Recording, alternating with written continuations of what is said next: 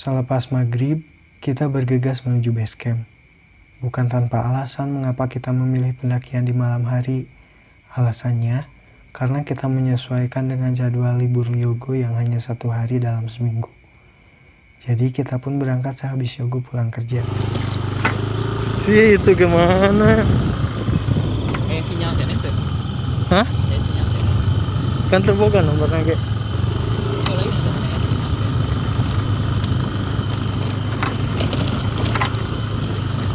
Harata ada iya mah ini. Salah jalan. Salah ya lu tuh lu mau kalau Balik deh tuh.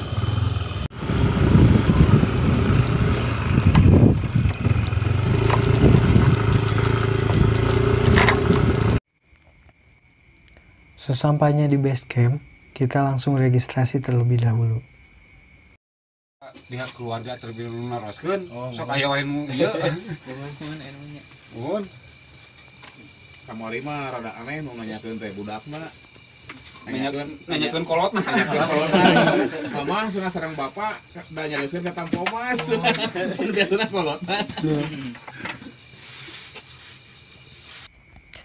Pendakian kali ini, seperti biasa aku ditemani Muhammad Yogo Santoso, sahabat yang aku kenal sejak enam tahun lalu.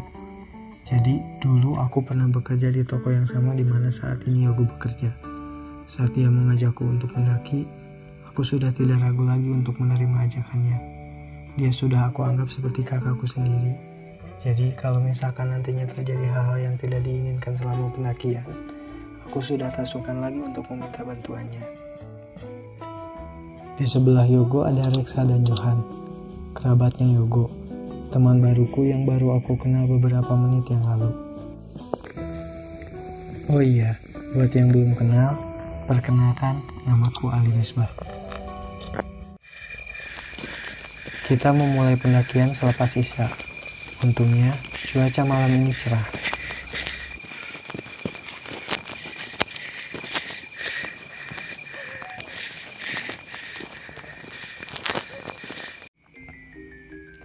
Di tengah-tengah pendakian, Yogo yang memimpin di depan tiba-tiba berhenti. Langkahnya terhenti karena pekatnya malam ditambah rumput-rumput yang menjulang, membuat jalur pendakian menuju Gunung Karang ini jadi tak terlihat. Walaupun Yogo dan Johan sering kali bolak-balik gunung ini, ingatan mereka akan jalur pendakian perlahan terkikis oleh gelapnya malam.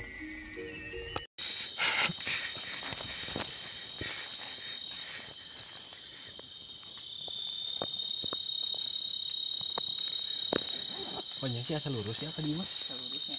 Coba kita cek dulu. Nah, iya batu.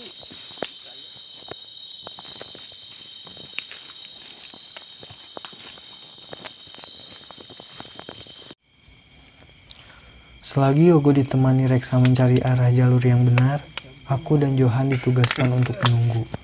Sesekali, Yogo memanggil nama Johan untuk memastikan agar kita tetap saling terhubung dan tidak terpisah.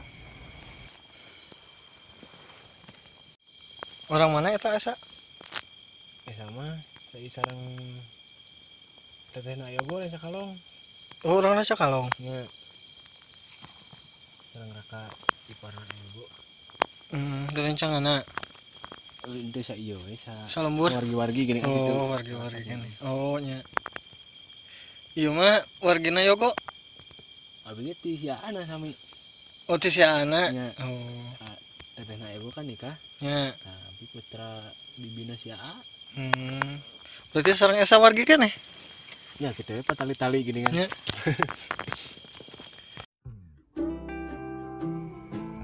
Setelah hampir 15 menit terjebak, akhirnya kita bisa sampai ke puncak Gunung Karang. Hah? Nyampe guys. Anjir, ayaan. Ayah, makanya, makanya.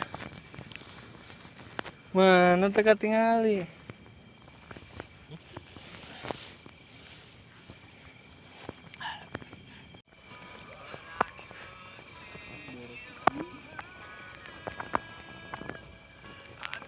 Rebo gitu. Nya. Eh, Hmm. nyarok Oh, kan tadinya bari malam rebo cuman pas sore teh hujan eureun-eureun ini. terus satu acan puasanya. Heeh. Terus Oh, nanti ini Johan Mamang Sekim. Teh. Ini sekagak perbekalan. Kurang tektokeun euy. Tektokeun kan aja.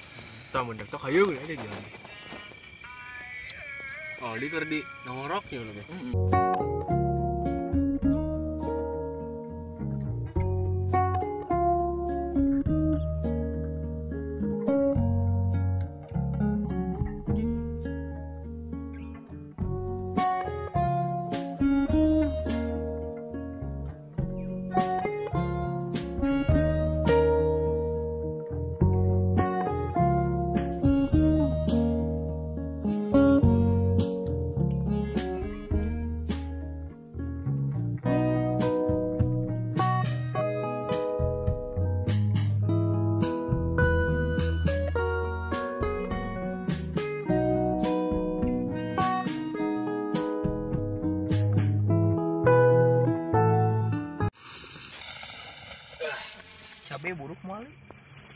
Hah? Ditutup kieu isukan moal. Moal. Tanya. Kalangikeun. Sebeat gitu mah.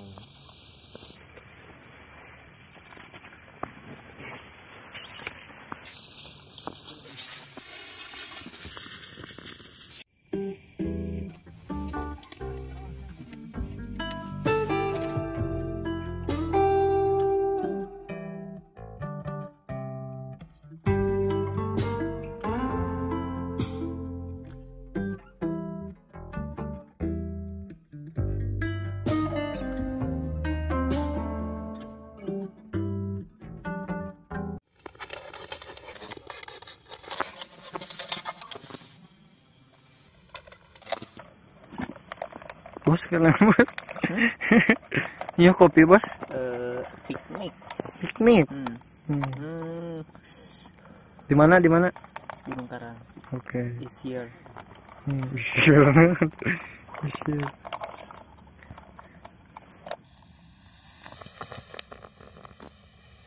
Mau aja Jo. Boleh? Iya. Telahung sok we kumaha. Boleh dikuantitaskeun sok. Awis di dia. Sepuluh ribu. Jadi juga saya gini, boyem, Boyem. warung labu teh. Warung di puncak sa. Eh bener. Askeun kayak bu. Puncak mana? Labu gitu. Warung mana geuning ali. Sabaran. Sama angka ge sepuluh ribu sana. Cakere teh Satangkal meureun. Kurut. Kapok milih. Bebas sok. Sama. Gawang Sarana teh. di pepanayan nagang. Coba. Ya nah. Heeh. Tapi dah seueur di handap lagi. Oh, Itu wanayan. itu- di handap mah, Jo. Jadi emang.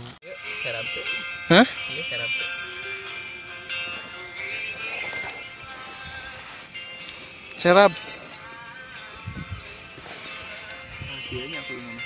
Hmm, sok beri gitu bet.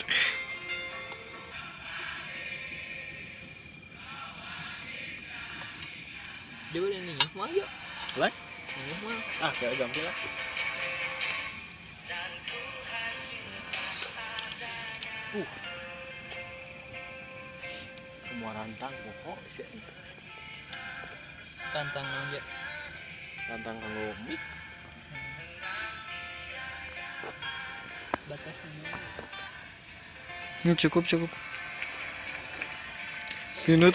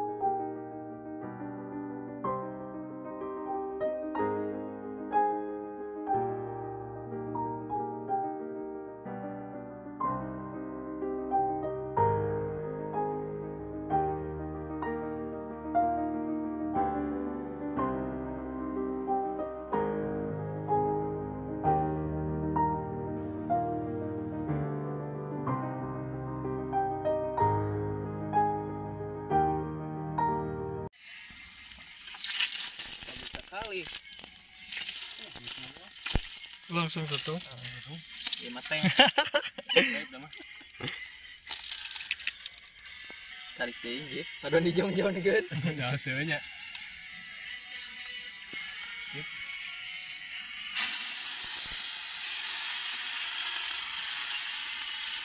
Langsung balikan Bang kok. Di atas puncak gunung ini, kita berbincang tentang banyak hal, saling bertukar tawa, dan melupakan sejenak semua beban yang ada di pikiran. Bukankah ini waktu yang tepat untuk kita melepas penat?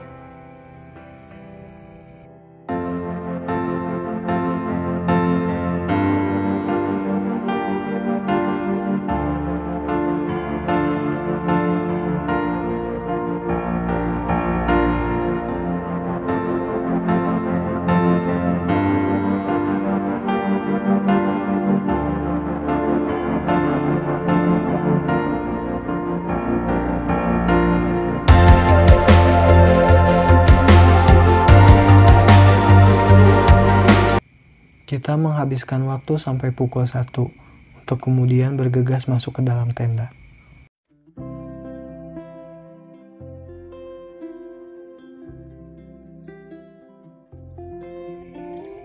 Pagi yang dingin di ketinggian 1200 meter di atas permukaan laut. Ditemani secangkir kopi, kita sudah tidak sabar menunggu munculnya mentari sembari melihat keindahan yang telah Tuhan siapkan di pagi ini. Dari atas ini, terlihat jelas keindahan Gunung Ciremai, gunung tertinggi yang ada di Jawa Barat.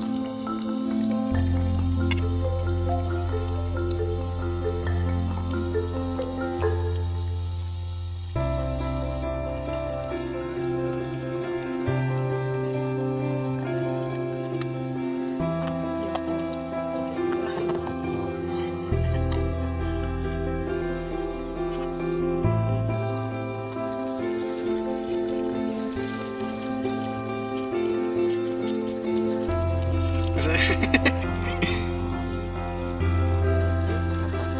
嘿嘿嘿。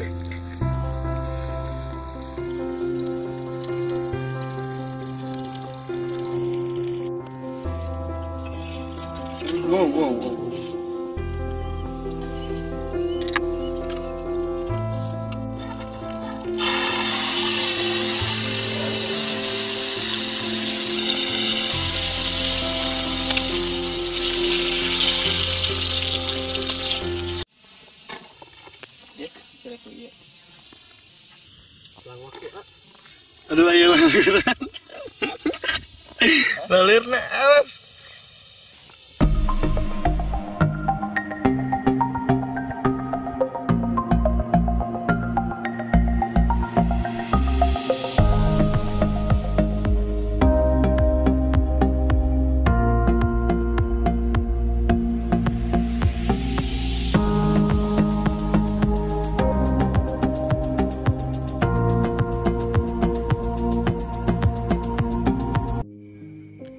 Sehabis sarapan, Yogo bercerita bahwa semalam selama kita tersesat, dia panik sembari terus berdoa. Begitupun dengan Reksa dan Johan. Mendengar cerita mereka, aku yang kadang tidak peka akan hal-hal yang berbau mistis ini menjadi overthinking mengingat kejadian semalam. Alhasil, saat mereka bisa tidur siang, aku malah terjaga dan tidak bisa tidur sama sekali.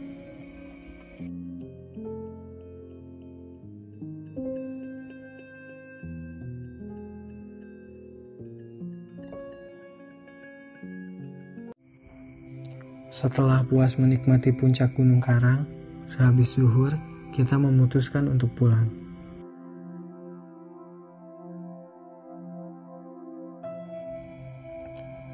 Dari pendakian ini, aku belajar banyak hal, terutama tentang pendakian malam.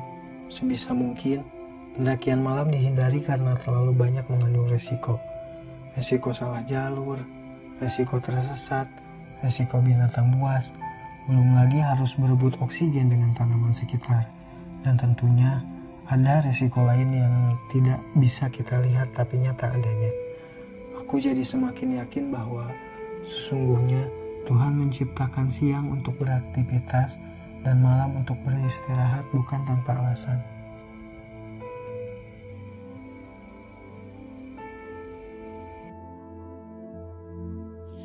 Oke jadi kita mau pulang